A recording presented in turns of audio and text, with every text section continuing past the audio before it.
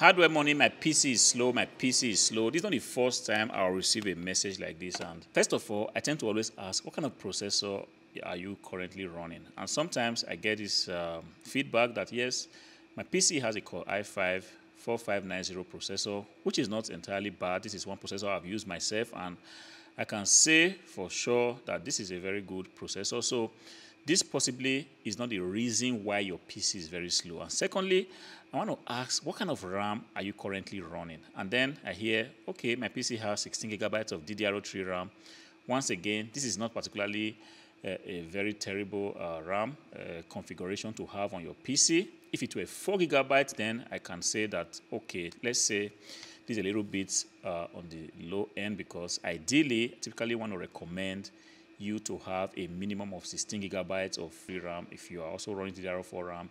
The same thing, DDR3 RAM, DDR4, DDR5, just a minimum of 16 gigabytes would definitely be okay. So the RAM, definitely in this case, is not the bottleneck that your PC is currently having. And then I keep probing further and want to ask, what's the hard drive on your system? And then I hear my system has one terabyte HDD. And I say, yes, this is exactly the problem you are having. Guys, it's 2024 and gone are the days where it used to be a lot of fun to run your PC using a mechanical hard drive. This one right here, if you go to Hardware Money, I actually have a hard drive on sale. Yeah, there's a reason for this. I'm going to be coming to this much later. You see, gone are the days where it made a lot of sense to uh, get a PC, a good PC with a very good processor, good RAM configuration, and then it doesn't matter the operating system you are using, Windows 10, Windows 11, doesn't matter. Install it on a mechanical hard drive and then you realize that the PC is not as fast as you would expect. In this case, the bottleneck is not actually uh, uh, uh, the PC processor, it's not the RAM, but the fact that you are running a mechanical drive on your PC is exactly why you are having problems with your PC. Problems in this case being that your PC is taking forever to boot, you are trying to copy some files and you just realize that the thing is getting so slow. You are trying to multitask and you realize that nothing is just working for you. See, guys, what you want to do is to go ahead and get an SSD. It doesn't matter the product you are getting, but this particular product is on sale now on my website for 14.90. Gone are the days where the SSDs used to be very expensive. Believe me, then if you are thinking of getting a 128 gigabyte SSD, you must be thinking of spending a lot of money sometimes 100 euros, 150 euros. But now, thanks to the market forces, the prices of these things are getting really cheap. And I see no reason why you continue to use your PC with a HDD. It doesn't matter the size of the SSD. It could be 120 gigabytes, it could be 256 gigabytes, but you want to ensure that as much as you can, your operating system, be it Windows 10, be it Windows 11, is installed on an SSD. In this way, you can actually take advantage of the processor you are using. You can take advantage of the RAM. And believe me, if you were to go ahead and install an SSD in your system, if everything is right, you need you will have you will have a system that boots really really fast. We're talking about like seconds, 20 seconds, 30 seconds, depending on the type of SSD you are using. So it's not fun. It's only like some people don't really understand why they need to upgrade their systems. And on this channel, I kind of make a lot of videos showing you why your system in 2024 definitely needs to be running on an SSD. Like I said, these things are getting really, really cheap. There's no excuse anymore like it used to be where people say, I cannot get an SSD because the price is just beyond my reach. No, this time things are really, really cheap. And if you really value your time, you don't want to be caught up in a situation where you want to boot up your system uh, you, you come to your PC, you, you need to put it on, you need to go ahead and grab some coffee, and then come back about three or five minutes later, and the system is still trying to boot up.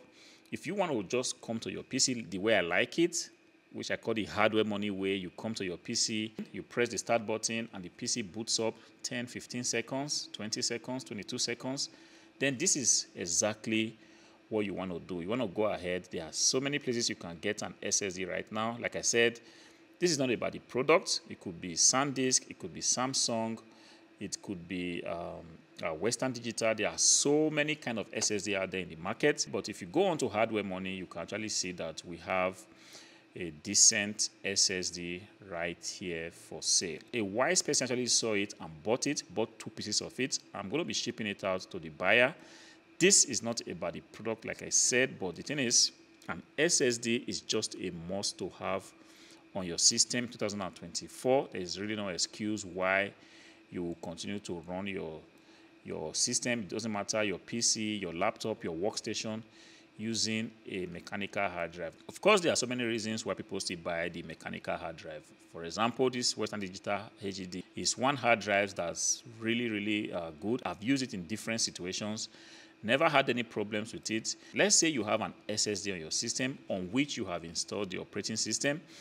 Yes, if you had bought the uh, 128 gigabytes SSD truth be said, it's not so big in terms of storage capacity when you compare it to a one terabyte. So what people do is that people get a very small SSD, like I would kind of recommend 256 gigabytes, and then pair it with a mechanical hard drive, say 500 gigabytes or even one terabyte. So in this way, when you have your um, documents, you want to save a lot of stuff on your PC, then you can actually make sure that these documents are saved onto the hard drive. But then your operating system and other important files that makes Windows work very well are all saved and installed on your SSD. This is the only way you can take advantage of the PC you are using. I've met people that changed their PC simply because they felt the problem with the PC was just that the PC was slow. They didn't really know what exactly the problem was.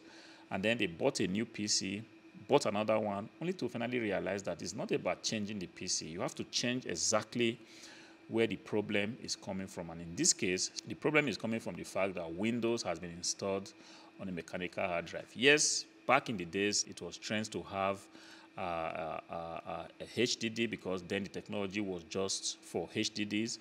But now that the SSDs are out and they are really, really getting cheap, this is something, this is the direction you need to go. It doesn't matter how cheap the PC is, it doesn't matter how good of an offer you have found online always ensure that the PC is coming with an SSD installed. Let's say you've bought a PC without an SSD installed. The next thing you want to do is to quickly go ahead.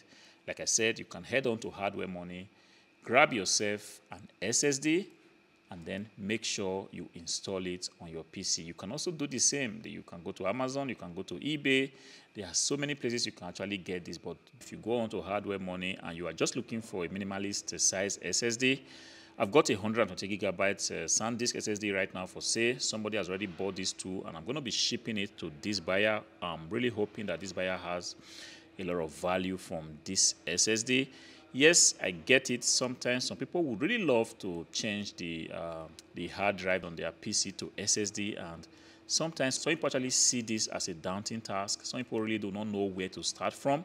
And this is the reason why I've taken a lot of effort to make really good quality videos on YouTube, showing you exactly how you can actually change the HDD on your system to an SSD. It doesn't matter the kind of system, be it a small form factor PC, be it a tiny PC, uh, be it a laptop. If you go onto Hardware Money on YouTube, you actually get a lot of videos showing you how to do this. I've actually covered the installation of uh, SSDs on a lot of desktop PCs and I'm hopeful that you should be able to find a model that fits your particular model of desktop PC. But like I said, SSD is just a no-brainer. If you are still running a HDD on your on your PC in 2024, you are doing it wrong. This is the reason why your system is super super slow. If you want to supercharge your PC, then do yourself a great favor by installing an SSD on your PC.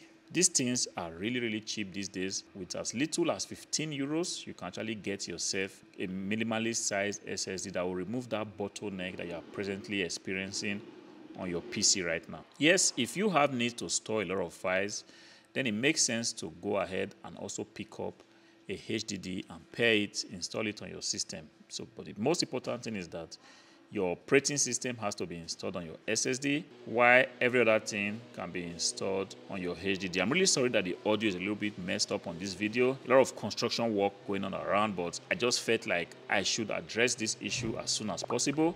And if this video helps you, go ahead and click on the like button, subscribe to the channel. Until I see you again, peace.